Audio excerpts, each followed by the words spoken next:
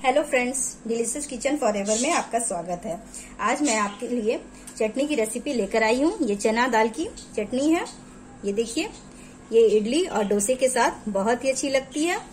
तो आप इस चटनी की रेसिपी को ज़रूर ट्राई कीजिए। बनाना बहुत ही आसान है, बहुत ही सिंपल है और खाने में बहुत ही ज़्यादा टेस्टी है। तो इस रेसिपी को ट्राई कीजिए और चलिए इसे फटाफट बनाना शुरू करते हैं।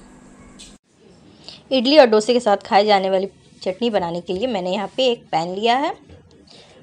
इसमें मैं ऐड करूँगी दो बड़े चम्मच चना दाल। आपके घर में जितने मेंबर हो, उस हिसाब से आप ज़्यादा या कम कर सकते हैं। तो इसे हम इस तरह से सेक लेंगे। एक से डेढ़ मिनट तक इसे हमें इस तरह से भूनना है। इसमें हम लहसुन की कुछ सात आठ कलियाँ भी ऐड कर देंगे।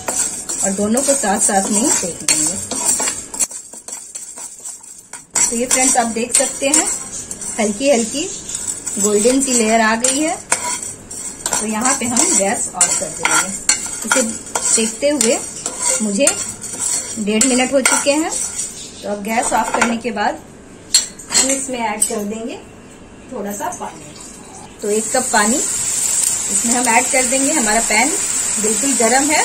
तो ये बहुत जल्दी से इसमें फूल जाएगी और हम इसे 10 मिनट बाद ही पीस सकते हैं और एक अच्छा सा स्मूथ पेस्ट तैयार कर सकते हैं। तो इसे हम इसी तरह से छोड़ देंगे और 10 मिनट बाद इसका पेस्ट बनाएँगे। तो आप देख सकते हैं, पानी बहुत हद तक सूख चुका है और दाल भी बहुत अच्छे से फूल गया है। 10 मिनट हो चुके हैं तो चलिए इसे ग्राइंडर जार में डालते हैं। तो अब मैंने यहाँ पे एक ग्राइंडर जार लिया है। इसमें हम चना दाल और लहसुन को डाल देंगे। इसे डालने के बाद हम यहाँ पे डालेंगे दो हरी मिर्चें। तो तीखा आप अपने टेस्ट के हिसाब से डाल सकते हैं, कम या ज़्यादा कर सकते हैं हरी मिर्च को। एक छोटी चम्मच नमक भी इसमें डाल देंगे। स्वाद के अनुसार नमक आप ऐड कीजिए। अब मैं यहाँ पे डालूँगी दो चम्मच कोकोनट पाउडर ये डालने से बहुत ही अच्छा फ्लेवर आ जाता है। तो इसे ऐड करने के बाद मैंने यहाँ पे अभी पानी ऐड नहीं किया है, जो चना दाल में दो चम्मच के लगभग पानी थी। अभी उसी में मैं इसे पीसूँगी, फिर ज़रूरत के हिसाब से ऐड करूँगी। तो ये देखिए, ये पीस चुकी है। बहुत ही अच्छे से स्मूथ पेस्ट तैयार हुआ है।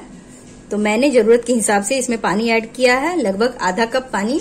मैंने इसमें डाला है। आप इसे अपने हिसाब से पतला या गाढ़ा रख सकते हैं। तो इसे एक बॉल में निकाल लेंगे और अब हम इसका तड़का तैयार करेंगे। तो इसका तड़का रेडी करते हैं। तो अब मैंने यहाँ पे लिया है एक तड़का पैन और इसमें हम ऐड कर देंगे बड़ा चम्मच तेल। तो फ्रेंड्स तेल गर्म हो चुका है। अब हम इसमें ऐड कर देंगे आधी चम्मच राई या सरसों, जो भी आपके पास हो। आप इसमें डाल सकते हैं। ये मैंने राई डाल दी। एक सूखी लाल मिर्च और थोड़े से करी।